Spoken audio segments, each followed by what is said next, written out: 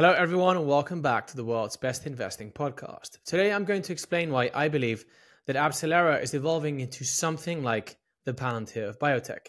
These two companies are obviously different, but they differ in two fundamental aspects. One, Palantir is an AI platform, AbCellera is an emerging biotech platform. And when I went long Palantir at $7, Palantir was producing a lot of cash from operations.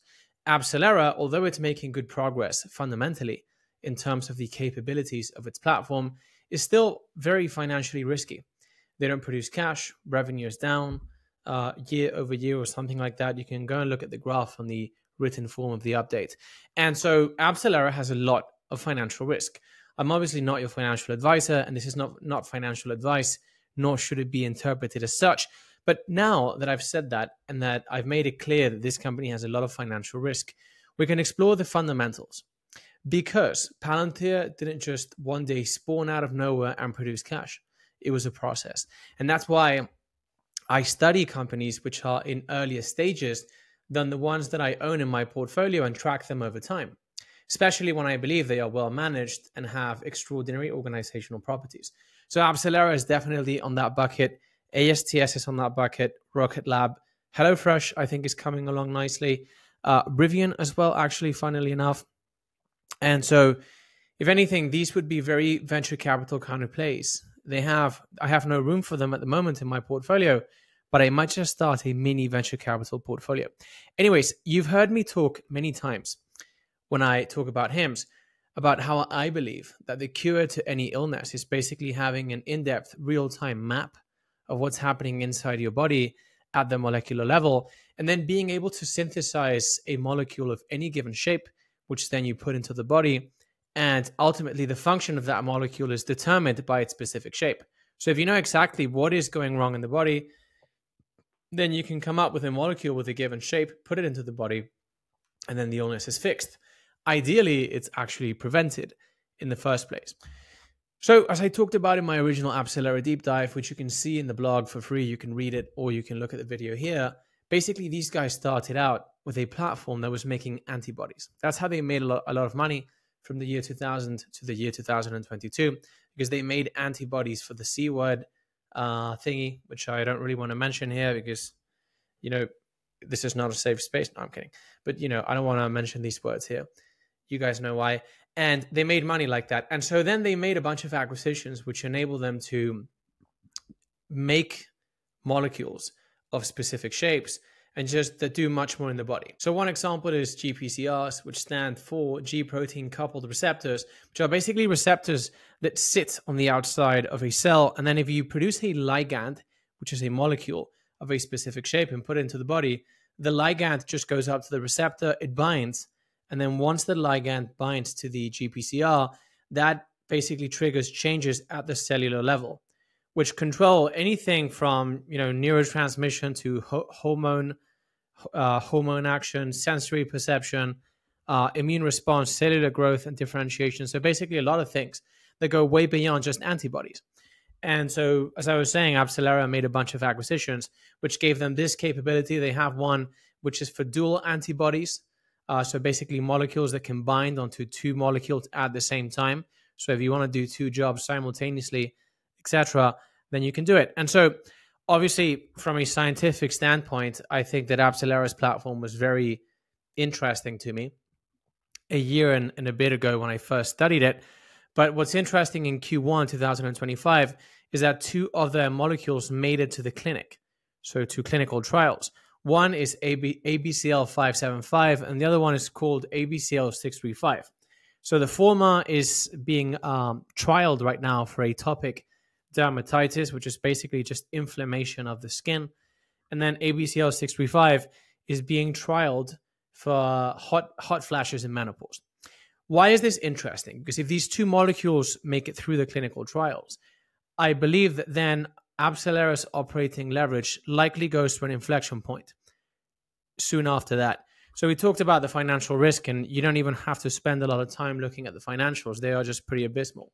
But here's what's interesting these two molecules, ABCL 575 and 635, both leverage similar pathways, biological pathways, which are actually core to many other biological processes in the body. Meaning, if these molecules work in the clinic for these two specific applications, then it likely won't take time for AbCellera to obviously scale those two applications up, then find more applications for the drugs in question, and then bring more molecules to the clinic that leverage these biological pathways. So, for example, ABCL 575 basically allows you to control your immune system your T cells. It basically targets the OX40 pathway, which uh, basically, when this molecule binds onto that receptor, the OX40 receptor, it helps regulate the activity of T cells, which we know are fundamental in the immune system. Um, and obviously, why why the link with atopic dermatitis? Well, in my experience, and you guys know I've I've been through some things over the past few years. Many of these things, like you know, obviously skin conditions, digestive conditions, musculoskeletal conditions, etc., they often come down to underlying chronic infections, which the immune system is not clearing. So I'm personally not surprised that ABCL 575, which ultimately regulates the immune system, in this case, upregulates it or downregulates it, whatever, it's not a surprise that it's being trialed for atopic dermatitis. There's so many other things that people go and get superficial treatments for in order to just fix the condition, sorry, the symptoms, which actually come down to not having an immune system that's clearing underlying infections effectively. And so, lots that you can do with the OX40 pathway. Similarly, ABCL uh, 635 targets the NK3R receptor, which is found in the brain. And it, if, if I remember correctly, it deals with um, stuff in terms of how you regulate your temperature, right? So eh, basically, these two these two molecules come from the same fundamental thing, which is ABCL's, AbCellera's ability to synthesize a molecule of a specific shape, put it into the body, have the molecule then bind to a specific receptor, thus controlling some physiological process in the body. So again, if these two molecules make it through the clinic, I believe we we begin to see a tentative inflection point. None of this means that I think that AbCellera now is something like Palantir at seven dollars. It just means that fundamentally, I see the progress of their platform. They, you know, relatively, I think they are quite ahead, far away from competition, similar to how Palantir has been positioning itself over the past decade and a bit. And so I like the situation that's being uh, presented here.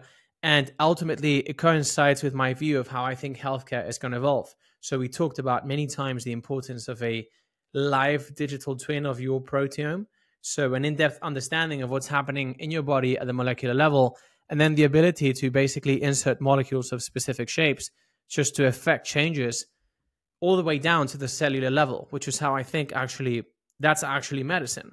So, all illness stems from cellular dysfunction, which, by the way, in turn also stems from mitochondrial dysfunction, which is why I like to talk about mitochondrial peptides a lot. But, anyways, point is, this I think is becoming a foundational platform for biotech because we're going to have I mean the conception we have of medicine is medieval in that you know we we try these drugs at random. We see if they work or not. We don't really check up on the side effects too much longitudinally. Over time and then this is just the advent of full scale precision medicine and so i'm excited to see how these two molecules do abcl 575 and abcl 635 and if they succeed in the clinical trials, I think there's very interesting times coming up ahead for ABCL. So, guys, as always, thank you very much for joining me. If you enjoyed this update, could you please share this with one friend? These deep dives slash updates are for free.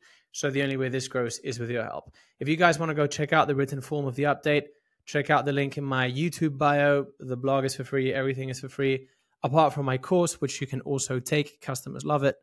Uh, most of you guys statistically will love it. I have a 14 day money back, no questions asked guarantee.